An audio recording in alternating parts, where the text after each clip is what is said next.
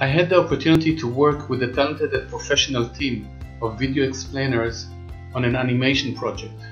They had both the ability to listen to my detailed perception of how I think video should look like and the imagination and artistic ability to bring thoughts and emotions to life in a way I could not imagine.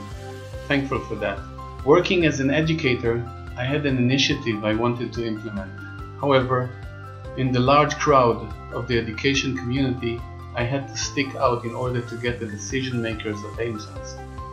The animation produced in collaboration with video explainers did the job and opened a door for me at the highest level.